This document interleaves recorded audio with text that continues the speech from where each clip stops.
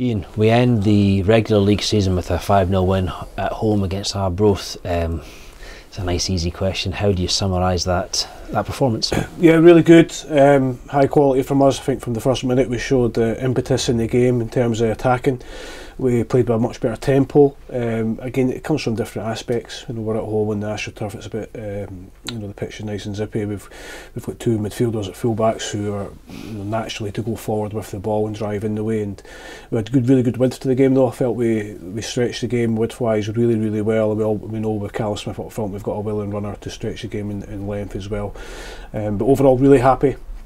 I think um, as a manager, I can't ask for too much more of the players going into uh, the final regular game of the season to come out with a 5-0 win then, you know, it's, it's great. Exactly. Obviously, the headlines will go to uh, Callum Smith with the two goals and Lewis with the two goals. Uh, but for me, the, the standout performer, one of the standout performers outside of those two, were Scott McGill and Kyle Turner. Um, yep. Very impressive by those two. Yeah, really good. Uh, I thought we had uh, numerous uh, high performances all over the park.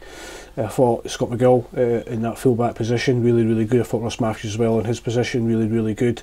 Kyle Turner showed why we brought Kyle here uh, in the January window to, to help us, and he, he really isolated himself one v one. I've seen him do it many times before in these one v one situations. He caused their right sided defender a lot of problems and created a couple of goals and a penalty kick for us, which is great. Uh, so yeah, overall, um, there wasn't a player in the park tonight that you know comes comes in and, and should be um, disappointed with the performance. I thought we all we all done really really well, and that was reflected in the scoreline. If we're being really pernickety and greedy, we, we could probably score a couple more. But I was equally as pleased with the clean sheet as I am with the five goals. Yeah, and and putting the the five goals to, to one side, as you said, that performance. If we can replicate that um, going into the playoffs, we'll be we'll be in a good place. Yeah, we'll, we'll need to. Uh, it's going to be tough. It's going to be really hard games, uh, regardless of who we're playing, uh, and that's just the first set. To get through them would be great because um, then going to the final and anything can happen. But we need to play at that level. We need to play that tempo, and that's that's a pleasing aspect for myself that I know we I know we've still got it in us. We've come into this, you know, the last three or four games been really really solid in games. That, that's told by the clean sheets and um, Kevin's had to make some really good saves tonight he, he made one probably mm. one save in the game but we showed our attacking threat again um, but we have to do it again that, that's football you, you can't sit in it too long um, great for all the strikers though to get goals and Big Jack nearly gets a double coming off the bench which is really, really important. So yeah, we're, we're, we're happy, we're confident, and in fairness to the players um, and the staff, our confidence has never wavered throughout the season. We've always believed in ourselves. We always knew it was never going to be easy. It was never going to be plain sailing every single week and turning up and scoring three, four, five goals. It just it's just it's impossible for any team to do that. But to come out on the last night of the season um, in front of our home fans and get everybody going again, get everybody you know leaving here happy and ready for the playoffs as much as uh, as as much fans as well. Yeah, you just and just picking out a couple of things from there uh, from your last answer. You rightly heralded the performance of the goalie and the defence, the clean sheet, and an aspect of our solidity over the last few games is Dylan Corr. Uh, really unfortunate for him when he went down with that what looked like a shoulder injury. Any any new early early news? Yeah, really really disappointed for Dylan. He was doing fine. He was part of a back four and, and goalkeeper that were, were going towards another clean sheet. He's done really well in the last three games. Uh, as a young player coming in, he's had to wait his time as well. Uh, so yeah, it was it wasn't a bad tackle. It was just unfortunate. He dislocated his shoulder. It, it came out. It went back in. It came back out, and it went mm-hmm. back in.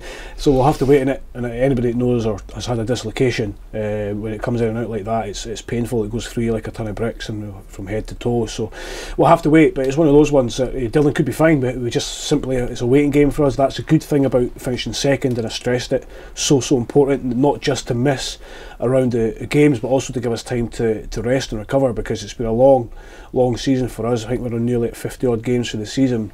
We certainly will be by the end of the first round of the playoffs, and it takes its toll on players. So that's the only down, downside tonight that, that Big Dylan's come off with a, with a sore one, um, but we'll do everything that we can to get him ready. Yeah, you mentioned to the mainstream press just before that um, a key aspect of tonight was that we hit we you know we, we hit that 20 win mark, which was so important to you uh, and to the club as a whole. Um, good to get that box ticked as well.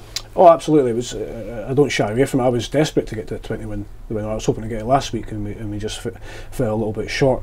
So to get there, I think it's a fantastic achievement, and it might not beat everybody, but I think uh, for myself, I'm, I'm really happy to get there. I think 20 wins out of 36 games is is a great return. I think our points total is really really high. Our defence has been given a bit of a um, bad press, I would say, over the season. We finished for best defence in the league, and that's mm. um, remembering that we've, we've had a lot of injuries in there. We've had to play a centre uh, a centre midfielder quite a few times at, at centre back. We finished tonight with two centre mids at centre back and a centre mid at left back. Um, so the boys deserve a lot of credit. We've got a young goalkeeper in uh, his first season as a number one, and he, he finishes in, in that fashion. So it's easy to throw stones at, at people, but when you look at the real and it's facts, it's, it's not opinion. It's, that's fact based. That's what's happened. So really, really happy.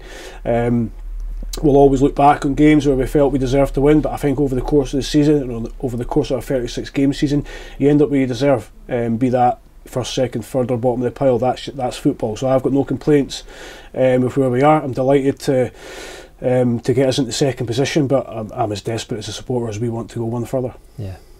Finally. Um, th- that second place finish, you know, well clear of third, the 5 0 win tonight, it gives the players a lot to be pleased about, and they'll be, they'll be allowed to celebrate a wee bit on Sunday at the Player of the Year event. Um, they'll be looking forward to letting the hair down as well yourself and the staff. Yeah, absolutely. We look forward to it. Of, co- of course we do. It's a recognition of, uh, of our season to celebrate it with the supporters and the sponsors of, of the football club who are incredibly important, um, who back us all the time, who support us and who help, help gain revenue for the football club. So we'll go there, uh, have, a, have a really good time, but as soon as that's over, we'll get back to business. Um, as I said to them after the game, um, be sensible on Sunday, and um, if you win the playoffs, you can do what you want for as long as you want happy days. Well, we'll talk to you more about those playoffs in the days leading up to it. But for now, thanks. Enjoy your weekend and Thank well you. done. Cheers. Thank you.